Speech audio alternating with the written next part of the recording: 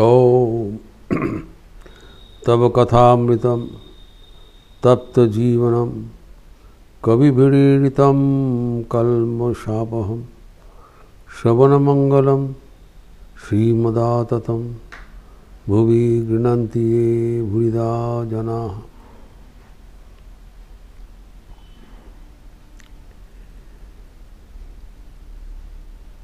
श्री श्री ठाकुर सत्प्रसंग करते हुए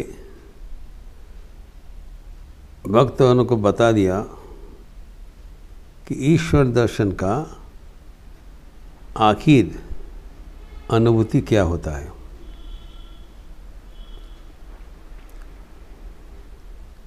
ये हमारे आध्यात्मिक जीवन के लिए सबसे महत्वपूर्ण बात है what are we after? What is the ultimate realization? Thakur साफ बता दिया সাক্ষাৎকারের পরে সবই নারায়ণ দেখবে নারায়ণই সব হয়েছেন बस ईश्वर दर्शन होने के पश्चात सब नारायण देव हुए नारायण ही सब कुछ हुए हैं द अल्टीमेट रियलाइजेशन ঠাকুর का फेमस स्टेटमेंट তিনি সব কিছু হয়েছেন वे सब कुछ बने हुए हैं ये उपनिषद का वाणी है भगवत गीता का वाणी है जो कि ठाकुर साठ संक्षेप बता दिया ये सुनते ही वहाँ पर उपस्थित पंडित साथ साथ भगवत गीता को वो श्लोक उद्धृत किया, जिसका चर्चा हम लोग किए हैं। सर्वभूतस्वात्मान सर्वभूतानि चात्मनि। ईक्षते योग युक्तात्मा सर्वत्र समुदर्शिना। सबके भीतर अपने को और अपने को सबके भीतर देखते हुए वो भगवान के साथ जुड़े रहते हैं। एवं सर्वत्र समदर्शिना सर्वत्र ईश्वर को ही दर्शन करते हैं। ये दाखिल रियलिटी।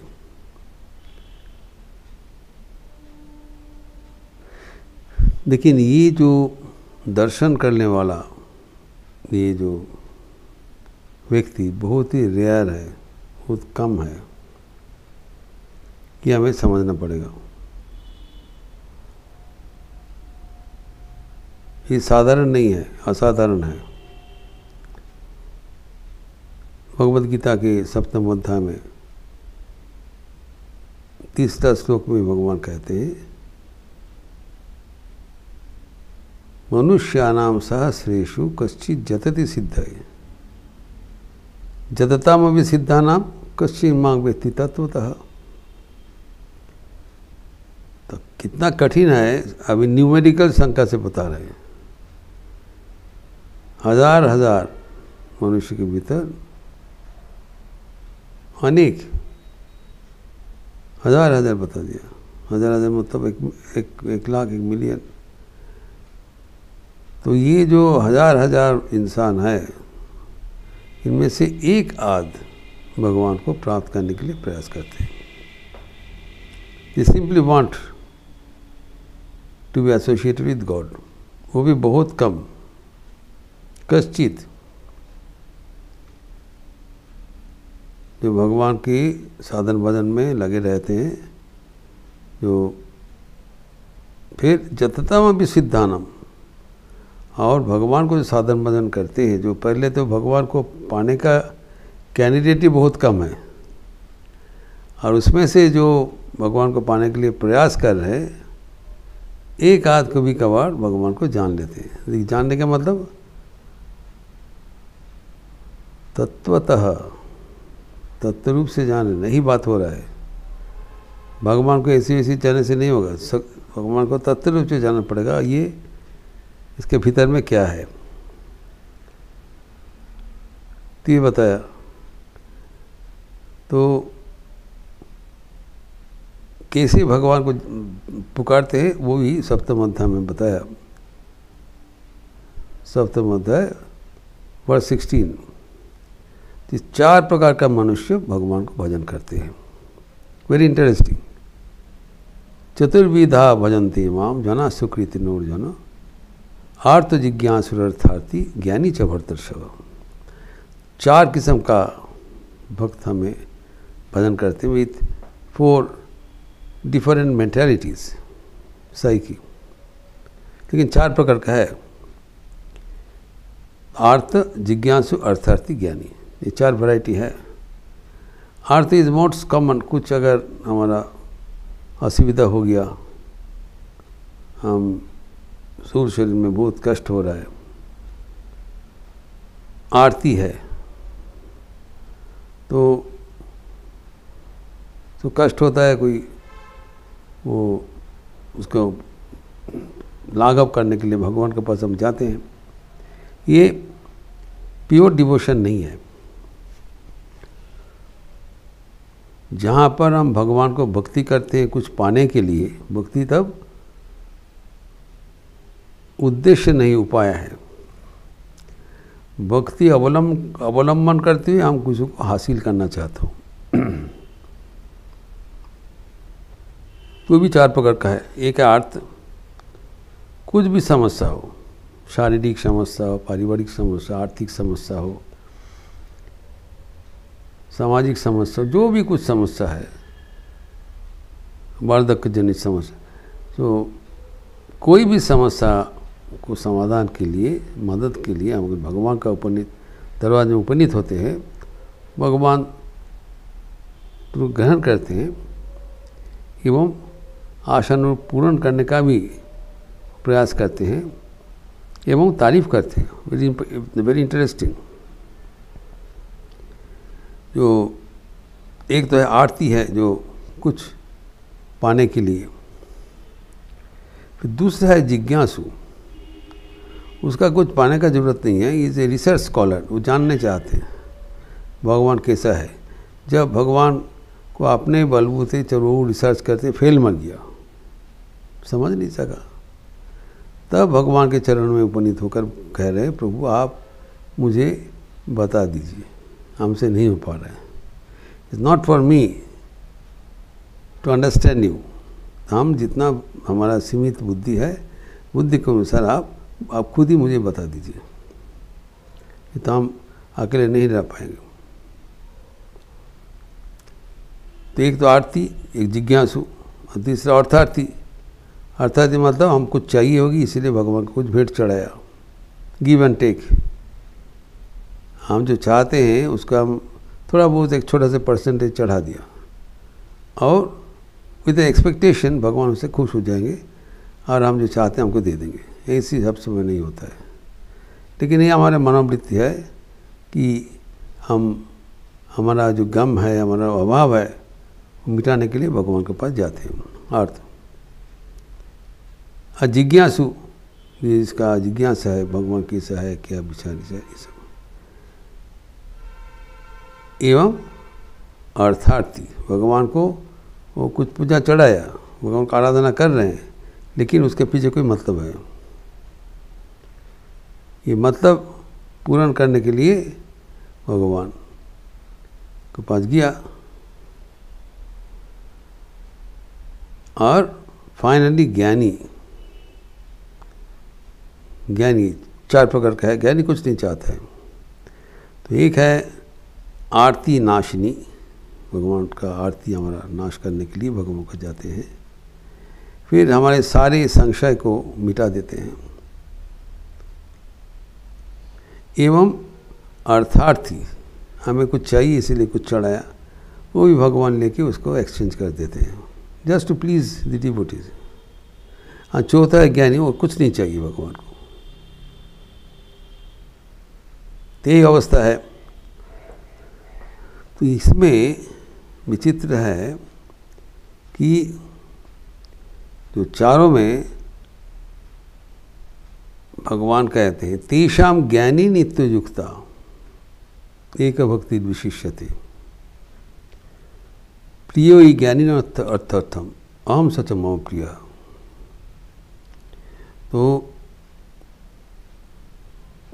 इसमें जो चार प्रकार का जो भक्त हुआ, इसमें से जो ज्ञानी है,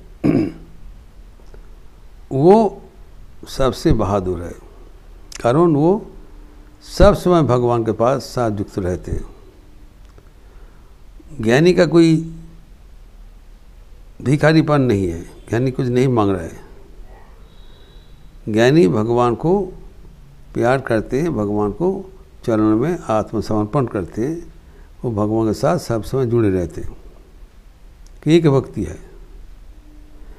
तो जो इसमें से जो एक भक्ति है, भगवान के सिवा कुछ नहीं चाहते हैं, तब क्या होता है?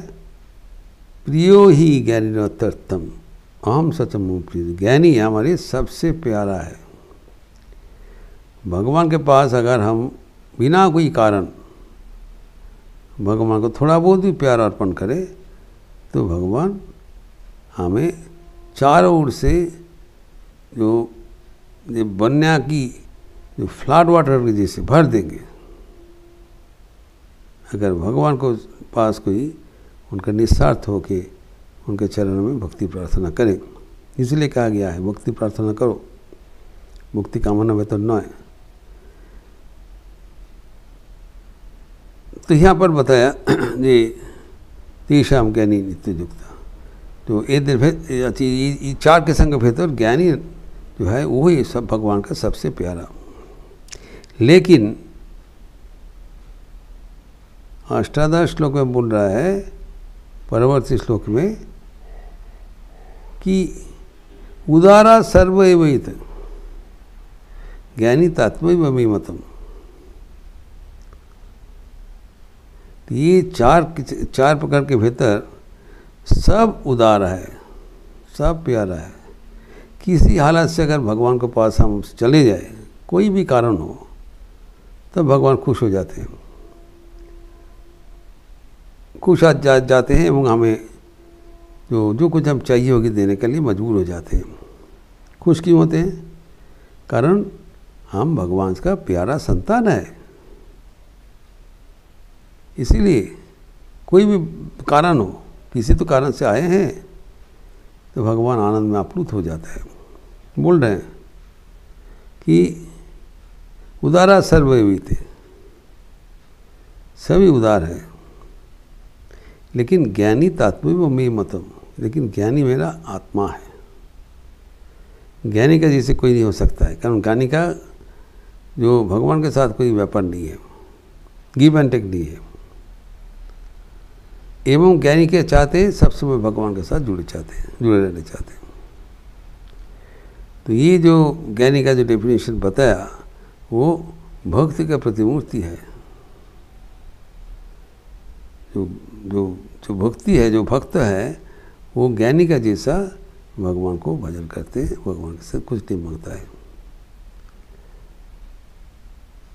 तो ये जो परंपरा है ये याद रखना चाहिए, भगवान सबको उदारा ये ख्याति दिया है। ये सर्टिफाइड एवरी वन इज़ उदार। दे आर रियली ब्लेसेड तो तेषाम ज्ञानी नित्य युक्ता एक भक्ति विशिष्य थे इसमें एक जो भक्ति है, एक यंत्र है, वो इसलिए भगवान बड़ा विशेष उसका मर्यादा दिया है।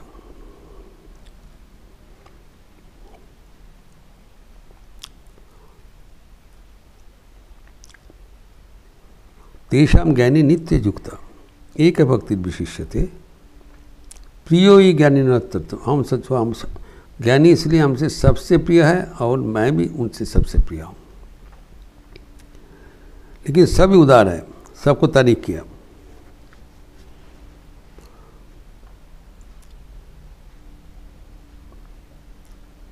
तो सबको जो तारीफ़ किया आस्थित सही जुकते ना, मामे मामे मन तदम गति। तो ये लोग सभी उदार है, हम उसमें से ज्ञानी मेरा प्राण है। उदारा सर्वविद ज्ञानी तत्व बमई मतम उसके भीतर ज्ञानी मेरा प्राण है। ज्ञानी के लिए मैं मजबूर हो जाता हूँ। आश्रित सही युक्तात्मा मामे मनु तमाम गतिम।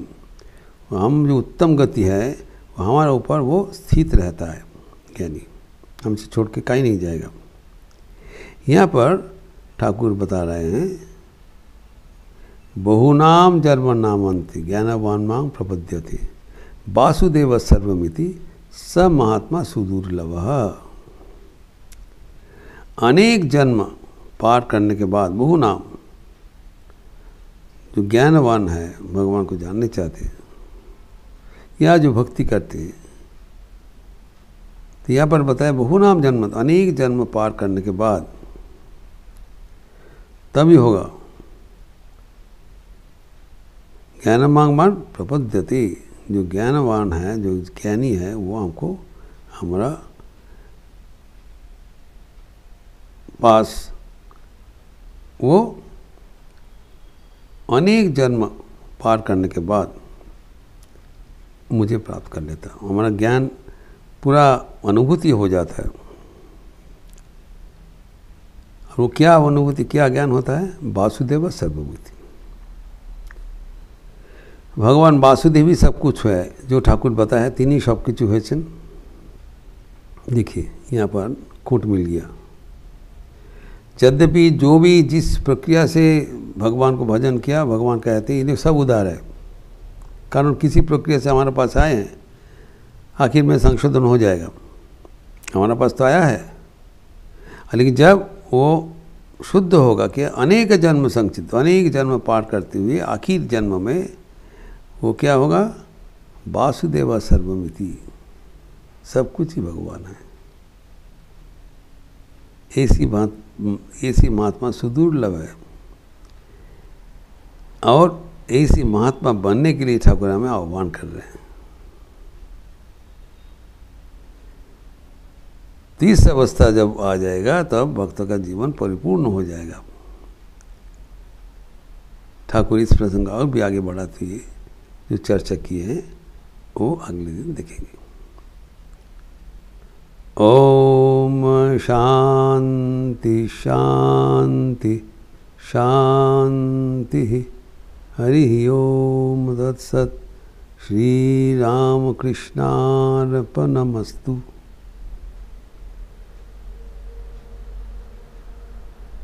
आप लोग अच्छे रहिए, स्वस्थ रहिए। आनंद में रहिए। नमस्कार।